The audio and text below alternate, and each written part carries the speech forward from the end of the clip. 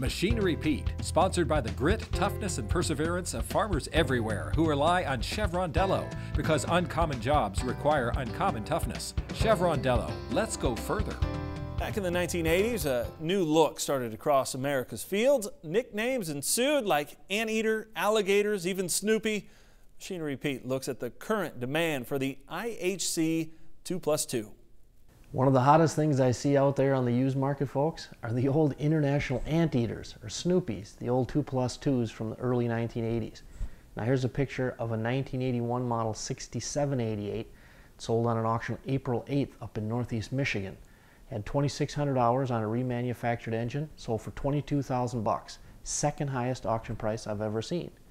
Now the record price actually came just last month on an auction March 19th in northeast Kansas where this 1981 model, again 6788, was showing 2,628 hours, brought $35,000. And that actually was the very first one made.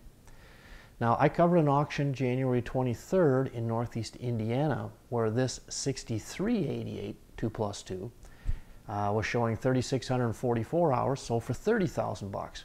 Record high price on a 6388.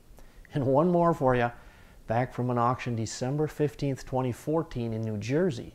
This 1983 6588, just under 4,000 hours and a fresh overhaul, went for 27.5. Again, record price. Now, folks, when you're shopping for used equipment, you know the first place to go. Our website, we've got over 100,000 pieces for sale. Tell those dealers and auctioneers you saw it on Machinery Pete. All right, sunscreen can protect you from getting a sunburn, but can it actually protect you from getting skin cancer? The latest research when Ag Day continues.